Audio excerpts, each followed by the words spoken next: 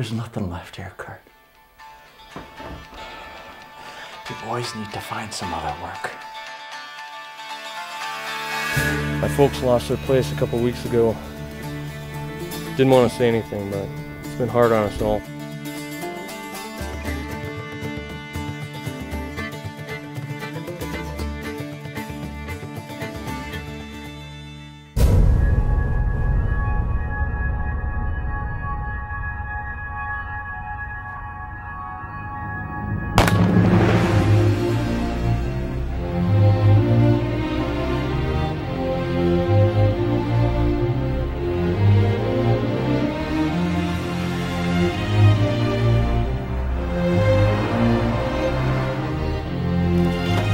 hurt.